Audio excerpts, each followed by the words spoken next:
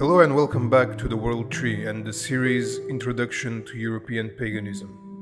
I am Stefan Cvetkovic, and in this episode we will talk about the nature of the divine in the pre Christian European worldview. Before we begin, I would like to invite you to subscribe to this channel and like the videos, if you truly like them, of course, and therefore help the channel grow. Likewise, I would like to inform you that uh, when this series of videos is over, it will be published as a book, which will be available on Amazon like the rest of my books, which you can find in the links below. The difference between this series and the book is, of course, the format, but also that the book will contain illustrations regarding the topics discussed, as well as descriptions and therefore additional information which is not included in the series. So, if you really value these lectures and wish uh, to own a physical copy that you can pass on to your children, or if something unexpected happens to this channel in the and the content is lost, then uh, I invite you to consider purchasing the book when it is published. By doing so, you are uh, you're also helping me put my bread on the table, so to speak, and uh, in return, you get something very good. Thank you for being here and for having interest in my work. And now, let us begin. The nature of the divine. In the mythology of Europe, we find numerous beings who were regarded as deities and who held a special position of power and admiration in the religious life of our forebears. However, the deities that we are familiar with and which are usually represented in an anthropomorphic way do not always appear as such, but are a result of uh, historical development of our religious tradition. The earliest cult of Eurasia is the ancestral cult, which is inseparable from the cult of the cave bear which the Neanderthals had despite the various disagreements regarding its existence among scholars. We know this to be true from various archaeological sites in which the bones or skulls of cave bears have been carefully arranged in a specific way. But probably the most important archaeological site is that of uh, Le Regourdou in France, where the skull of the Neanderthal skeleton was missing while the thigh bone was replaced by that of a cave bear. The bear was therefore seen as a sacred animal, as some of the ancestors, respected and honored in various ways. And its cult survived throughout the centuries in a slightly altered form throughout the deities such as Artio, Veles, Artemis, and others, as well as through annual rituals and dances related to its hibernation all over Europe. However, the bear was not the only animal regarded as sacred by our Stone Age forebears, but in fact, every animal and every living being was, because in those times our ancestors were still animists. Animism is a term developed by anthropologists to describe the religious customs of primitive people from all over the world, hence, why it is sometimes referred to as the oldest religion despite it not having any form of religious doctrine. The term animism is derived from the Latin word anima, meaning simply spirit, and it implies that all beings and things have a spirit, or simply that they are alive. Because the distinction between matter and spirit was unknown prior to the conversion to Christianity, as the word for spirit in most European languages simply means breath. Therefore, having a spirit simply means breathing or more generally interacting with the environment, which is the case for all living beings. As such, the original animistic worldview did not recognize the existence of deities which were venerated, but rather the existence of spirits who could be manipulated and whose favor could be gained through the form of imitative magic. Animism therefore means that the spirit and matter are inseparable. That is to say, that the matter is infinitely spiritual. In a way, it is the realization that all matter is infinitely deep, and thus infinity can be realized through everything that exists. Despite the fact that the spirits of nature eventually evolved to the deities which were later personified, the primordial animistic worldview is something that persisted through the centuries of historical development of our cults. The only possible way to understand that all matter is infinitely deep is by changing our modern perspective of linear time and realizing that the only real time is the present and that it is infinite. It is only when we realize this that we can grasp the true meaning of our ancient rituals in which various natural and man made objects were venerated or regarded as being possessed by spirits. For example, in the previous lecture regarding the concept of divine honor, we saw that the objects of ancestors and heroes were kept in the temples or in the family home. They were exhibited for people to see, interact with, listen to the tales and songs that surrounded them, or inherit them from one generation to another. Likewise, in our tradition, there is also the custom of naming various items, such as rings or weapons. And in certain areas or time periods of Europe, we have the recorded custom of digging up the grave or burial mound and collecting some of the items the dead were buried with, similar to the Neanderthal burial where the skull was collected. All of these customs can be explained when we consider the animistic worldview of our forebears. If existence does not have a beginning and an end, thus making time not linear but eternal, only perceived as past, present, and future due to our senses, it means that it is very easy to bring the past into the present. It means that matter is infinitely deep, and therefore, by interacting with something our ancestors did, we have the ability of recollecting memories of our previous selves in our previous lives. Hence, why the objects of our forebears or the heroes were regarded as sacred, because their spirit was embedded in them, and by seeing or recollecting the ancestral objects, as well as hearing the mythical songs and tales, we tune into the memory of the object or place and remember ourselves. We take part in eternity. As such, prayers related to the dead are essentially animistic, because the spirit of the dead is considered to reside in all the objects. They are haunted by the spirit of the dead, or rather, by the memory. Therefore, it is important to understand that at the core of all European beliefs lies reincarnation, meaning the belief that one's spirit is immortal and can be incarnated in a new physical body. And by the act of imitation and repetition, that is to say, performing the same rites, owning the same objects, and so forth, one can remember who he really is.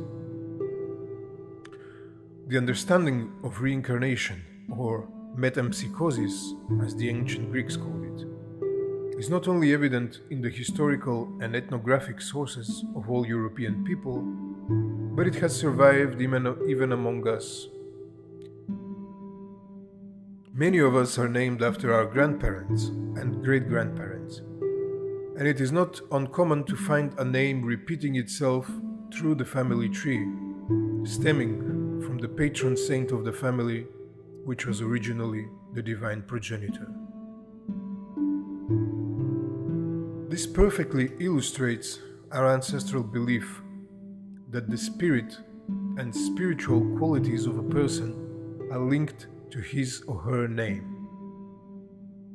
And therefore, if a person was honorable, the name and deeds of this person would be remembered eternally because that person would be repeatedly reborn through the generations carrying the same name. However, if we go far back in time, a single individual will be the progenitor of a whole tribe, people, or nation. If we dig up a Neanderthal grave, that person is a common ancestor to all Europeans. And so, in the same way, the name of a family progenitor can repeat itself throughout the generations, for they all carry his spirit. Because just as we can observe the characteristics of our ancestors in our physical appearance, so we can in our spirit, in our strength and weaknesses, our talents, abilities, interests, and so forth. For our forebears, the most distant ancestors and progenitors were the gods, and it was them who brought forth the cosmic order, according to which people's customs, rights, and societies were arranged. Every ritual act, be it a wedding, a burial, a harvest, or a blood sacrifice, was a repetition of a divine act originally performed by the progenitors, that is to say, the gods. Most of these rituals were performed annually because our pre Christian calendar correlates certain parts of the year with mythical events, making each year a repetition the mythical age during which the birth, life, and death of the deities occurred and was reenacted in the festivals. As such, our forebears lived in an eternal, cyclical time and not a linear and historical time as modern man does. Our myths are embedded in the calendar, hence the great importance of celebrating the festivals properly.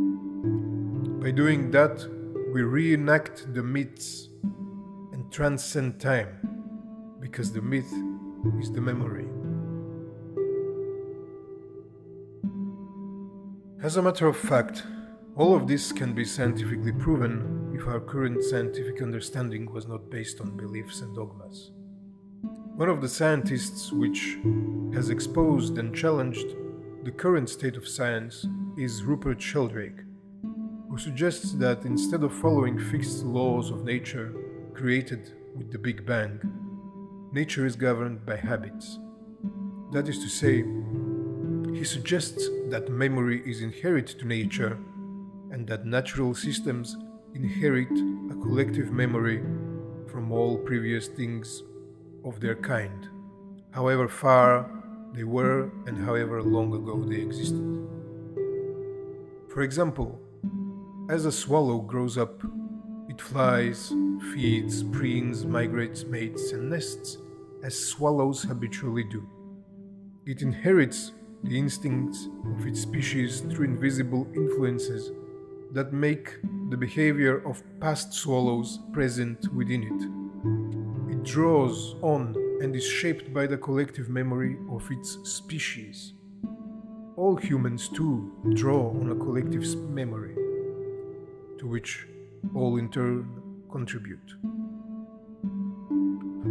As such, our own personal habits may depend on influences from our past behavior to which we tune in. But the same could be also said in relation to our most distant ancestors. If so, there is no need for memories to be stored in a material form in our brains, as modern science has failed to prove. Past may become present to us directly if we simply tune into it, which is what all of our rituals and myths were about. Rupert Sheldrake suggests that this occurs through fields which he calls morphic fields, and that each natural system has its own kind of field. When organisms cease to exist, the morphic fields do not disappear because they are potential organizing patterns of influence that can appear physically in other times and places, whenever and wherever the physical conditions are appropriate. When they do, they contain within themselves a memory of their previous physical existences.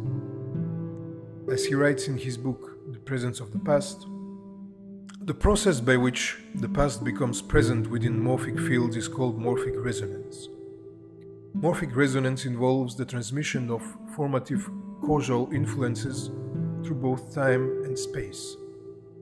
The memory within the morphic fields is cumulative, and that is why all sorts of things become increasingly habitual through repetition. When such repetition has occurred on an astronomical scale over billions of years, as it has in the case for many kinds of atoms, molecules, and crystals, the nature of these things has become deeply habitual, that it is effectively changeless or seemingly eternal.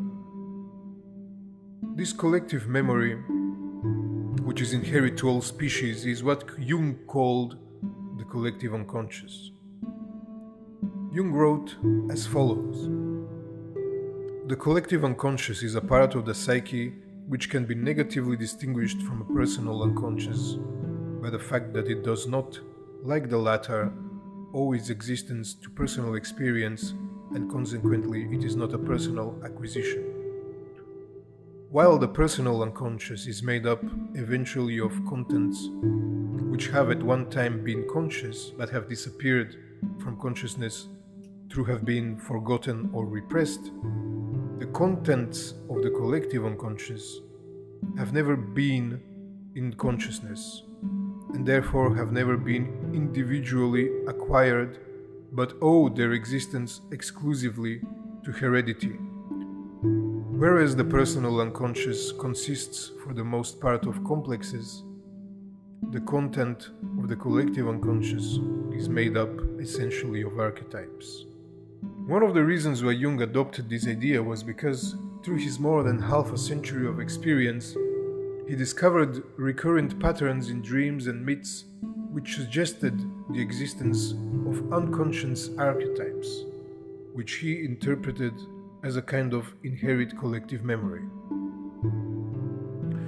His idea was clearly incompatible with the conventional mechanic understanding that heredity depends on information coded in the DNA molecules. Because that couldn't explain how, for example, a Swiss person could have a dream that seemed to arise from the same archetype as a myth from the Yoruba tribe of Africa. Nevertheless, although Jung regarded the collective unconscious as common to all humanity, he did not regard it as entirely undifferentiated for he said that with the beginning of racial differentiation, essential differences were developed in the collective psyche as well. This means that, despite the fact that all of humanity shares the same collective unconscious and therefore some mythological structures or symbols are shared between cultures which have never been in contact, they are nevertheless different and unique in their own way. As we all are humans, but racially different. The psychologist Marie Louise von Franz, a friend of Jung, took this further by saying that below the personal unconscious lies a group unconscious of families, clans, and tribes. Below this is a common unconscious of wide national units, and below it lies the sum of those universal psychic archetypal structures that we share with the whole mankind. According to Sheldrake, such a conception is in general agreement with the idea of morphic resonance, the specificity of which depends on similarity. Members of particular social groups are in general more similar to past members of the same groups than to social groups of entirely different races and cultures. But underlying all human groups are general similarities through which all participate in a common human heritage. Therefore, this book is called Introduction to European Paganism because it deals with concepts which were common to all pre Christian people of Europe and not the specific characteristics of the various European people. Everything previously said by Sheldrake, Jung, and Marie Louise von Franz is entirely compatible with our pre Christian worldview and tradition and it is perfectly summed up by the Stoic philosopher Epictetus, who said the following The philosophers say that they are gods and that their will directs the universe. The more important lesson is to discover the nature of the gods. Upon discovering that nature, a man would please the gods by making his own nature like unto the gods. If the divine is faithful, he must also be faithful. If free, he must also be free. If beneficent, he must also be beneficent. If magnanimous, he must also be magnanimous. Thus, to make the God's nature one's own, a man must imitate them in every thought, word, and deed. With this statement, Epictetus summed up the meaning of our pre Christian religious traditions. The best way to honor our ancestors and the gods is to become them, to follow what they have done and align our nature with theirs. In traditional societies, there is no sense of progressive development. What happens now repeats what happened before, and as was previously said, this repetition always refers to the first time it happened, in the mythic time of origins. This time was in the past, but it also becomes the present because the original patterns are continually repeated.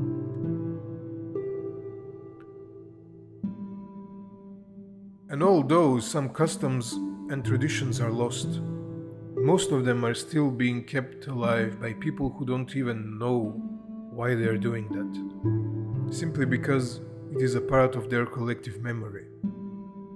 We can take as an example the custom of decorating a Christmas or rather Yule tree, which did not exist prior to the 17th century.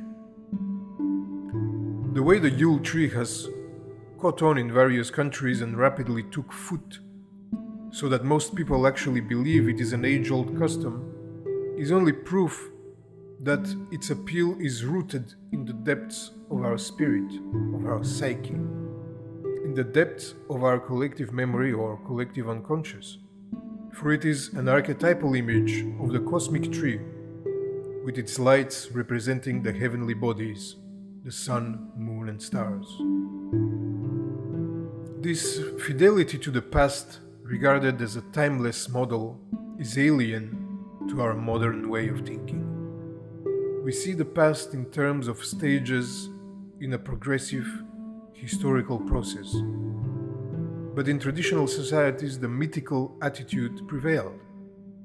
Every technique, rule, and custom was justified by the argument that the ancestors taught us to do it. The main difference between modern theories of progress and traditional myths is that the theories do not refer back to original models in the past, but refer to future goals, often envisioned as states of peace, prosperity, and brotherhood. But the fact is that by negating the past, especially the divine customs, we create chaos in the present and cannot bring anything into the future. The notion of progress has developed due to the Judeo Christian tradition and the most distinctive feature of this tradition is its myths of history, rather, its myth of history. The idea of historical progress towards an end that, in some sense, recreates the primal paradise before the fall. The creation theories of modern science were inspired by this Judeo Christian cultural matrix with the paradigmatic theory of a beginning and the belief in historical progress towards the end of history. The Big Bang theory and the modern doctrine of universal evolution bear a striking resemblance to the Judeo Christian foundation myth, which is especially interesting when we consider that the theory was proposed by a Jesuit Catholic priest. Nevertheless, This essentially pre Christian fidelity to the mythical past did survive in many religious traditions because ritual forms are highly conservative. The gestures and actions should be done in the correct way. Ritual forms of language are conserved even when the language is no longer in everyday use. Thus, until the 1960s, the Roman Catholic liturgy was in Latin, the Brahmic rituals of India are in Sanskrit, and the liturgy of the Coptic Church is in the extinct language of ancient Egypt, and so forth.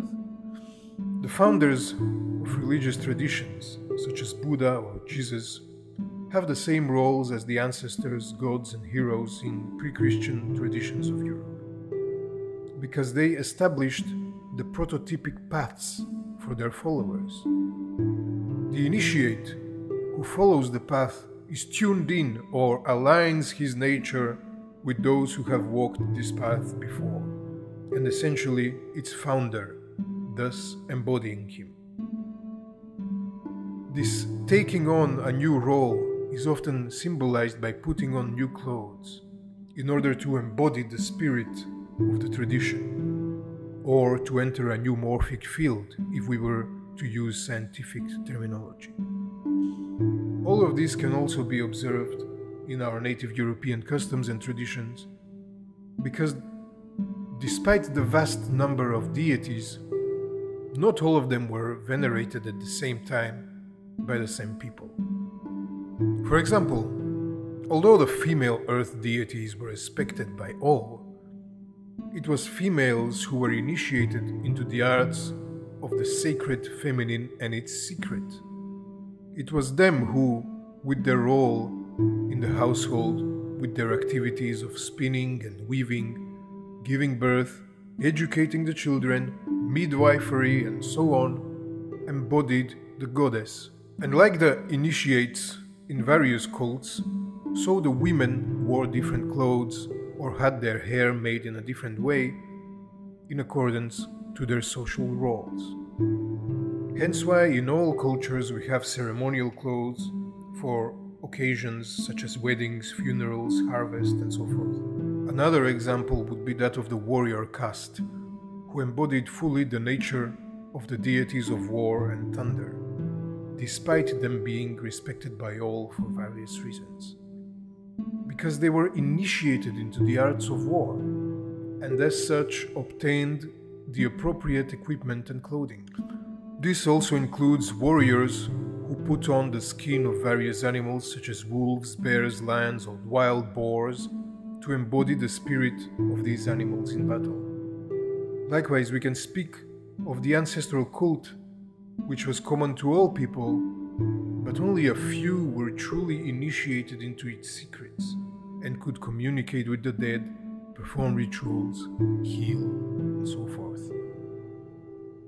In certain initiation rituals, in order to gain access to the realm of the dead, people had to remove their clothes, representing their bodies, and by doing so, they symbolically died. Then they covered themselves with ashes or soot and disguised themselves by wearing animal skins and masks in order to embody the dead, to become dead, and as such gain access into the burial mounds or caves where the rituals were performed. Upon finishing the hard trials of initiation, they returned and were given new clothes, and often new items or a new name, representing the rebirth and rebirth as a different social role. This custom of putting certain clothes on to embody something is essentially what we call imitative magic. But I believe that this is because we have not understood its scientific basis, because nobody except Sheldrake has made any effort in doing so. Certain deities were common to all people, and they are usually guarded as higher than others. But like we have patron saints today, certain tribes, families, or brotherhoods had their own patron deities, sometimes even local and unique. And they embodied these deities by the methods previously discussed. This was usually the case for the whole community, who was divided in three castes, being the religious leaders on top, followed by the warrior caste, whose duty was to protect the community and the cult, and the commoners, that is to say, the free ordinary people who were agriculturists, craftsmen, herdsmen, and so forth, who were at the third level and the lowest level. The deities were therefore venerated accordingly because there was no need for warriors to be initiated in the agriculture cults or the other way around. At the top of the hierarchy was the sacred king, who was the highest priest and who represented the three castes as well. He was an embodiment of the divine Sky Father, a god incarnate, evident also from his ceremonial clothing and regalia, which survived the process of Christianization. Naturally, he had a crown representing the sun's rays and light, and a sword by which he symbolically transmitted this light and therefore blessed those upon whose shoulder it was placed. He also had a stone, originally a flint, representing the weapon of the storm god, of the thunder god, which later on became a hammer, axe, or mace of power, and eventually became a scepter which the Christian monarchs carried. The king, as a god incarnate, was not eternal, but could be challenged and replaced by someone better than him, following the specific rites. If the challenger defeated the king, the former king was originally killed, reenacting a prototypic myth of the death of a primordial being from whose body parts the world and the social castes were created. According to the reconstructed Proto Indo European cosmogonic myth, this primordial being was Yimo, meaning twin, who was sacrificed by his brother Manu, meaning man or progenitor of all mankind, in order to create the world. As such, Manu was regarded as the original priest, the one who performs the sacrifices, and Yimo as the original king, making them founders of the traditions. This myth is, of course, a reconstruction, and it developed in various ways among the different Indo European people who adapted the myth and the tradition through time. Likewise, this myth should not be taken literally but symbolically, as the creation of the cosmos can be a mythical allegory of the birth, or rather, rebirth of man. The rebirth of man the king and the cosmos through a sacrifice essentially shows us that the cyclical worldview of our forebears was embedded in everything they did, because they understood the eternity of the present time, but naturally, as humans, they experienced time and divided it in past, present, and future. In order to experience the division of time and the opposites in nature, one must be incarnated because the spirit itself does not experience these opposites. This is why it is possible for us to tune into the memories of a certain sacred place and to bring the past into the present, if that place survives through time. Likewise, this is why we can sometimes have dreams in which we can see future events. It is through these visions or dreams that a seer would predict the future or see the past, because the spirit, the psyche, is not bound by time. Hence, also why we can have out of body experiences. This was known by our forebears, and it is nicely illustrated in the Platonic doctrine. The Platonic doctrine of the soul states that before birth, the soul is unified as a sphere because the opposites do not yet exist. Upon incarnation, the original shape of the sphere is lost. The unity is no longer there. this shows us that the spirit or soul or psyche before incarnation does not experience duality and therefore time, meaning that it itself is timeless and loses its unity once incarnated in a human body which perceives duality through the senses. The Platonists also say that the psyche travels between the world of the living and the dead along the Milky Way. The Milky Way intersects the astrological zodiac in Cancer and Capricorn, the two gates of the sun. The first gate of Cancer is the gate of man, while the second gate of Capricorn is the gate of the gods. The spirits descend on earth through the first gate of Cancer when they are reborn, and through the second gate of Capricorn they return to the other world when people die. The idea that the Milky Way is the road to the other world is evident in many cultures across the world. That this is not purely a Platonist tradition can be seen from the South Slavic tradition, where the Milky Way has several names, one of which is Jovanova Struga. The name Jovan refers to Saint John, while the word Struga means stream, current, canal, or riverbed. Therefore, the name could simply be translated as John's River. According to traditional Serbian folk belief, the spirits of the dead depart from the world to the other world following this heavenly stream, or John's River. And it is Saint Nicholas, in the role of a ferryman, who ferries the souls from this world to the other world. Like in the Platonist tradition, the two main holidays dedicated to Saint John in the Slavic Orthodox Christian Julian calendar are the 24th of June during the period of Cancer and the 7th of January during the period of Capricorn. The souls therefore travel along the river led by Nicholas, who will take them to John, who will open the winter sun gate that leads to the other world. And when incarnating, the souls travel across the river again and come into our world. According to the Serbian ethnologist Veselin Čajkanović, originally it was the deity Veles who performed the roles of both of these saints. The travel between the worlds of the dead and the living on a ship can be found all over Europe, even in funerary rituals in which the dead were cremated or buried in ships. This mythological image of a cosmic voyage to the other world is a symbol a metaphor to illustrate what happens after we die or before we are born. Because, as we saw in the previous lecture, the womb of the mother was seen as a microcosmic image of the macrocosm, of the universe.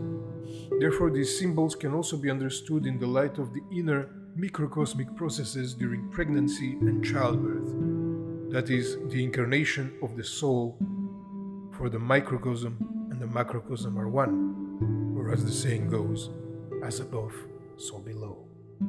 And there are several different mythical metaphors which describe the departure and incarnation of spirits, one of which is that of the migratory birds, which was mentioned in the previous lecture as well.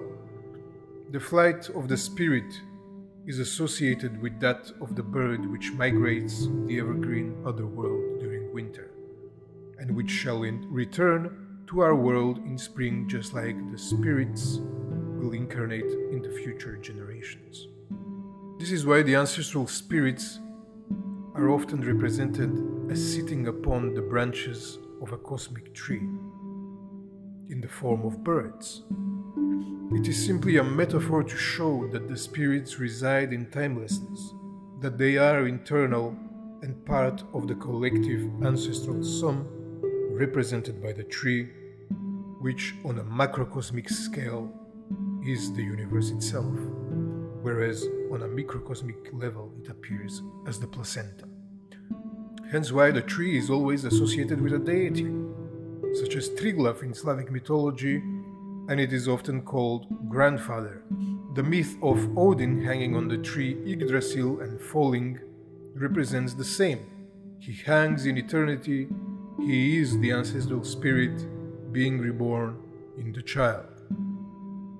You see, our ancestors used such metaphors, such symbols like birds on a tree or a perfect sphere, as images for the spirit because it is impossible to describe that which is timeless with conventional language, for it too is a process in time, whereas the symbol is eternal and arises spontaneously. And when you live in a realm in which you experience the passing of time, you use something which seems timeless in relation to your experience of time to express the concept of eternity. And the most common symbols used for eternity are the tree, the mountain, and the stone, which often go together. In order to better understand this, we must understand how our ancestors lived. Our earliest hunter gatherer ancestors were nomadic, and they often traveled the same routes following herds of animals. But along these travels, they always visited the same places which they regarded as sacred, such as mountains, waterfalls, ancient trees, and so forth. They were the first temples but also places for navigation for the many generations who followed the same routes. So, in relation to a man's lifetime, they were eternal.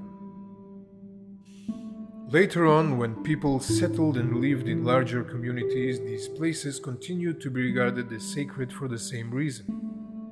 Ancient trees, in particular, were used as holy places especially when accompanied by a body of water underneath or nearby, because as such, the whole place embodied the cosmological order, the water being the entrance to the underworld, with the tree growing up towards the sky.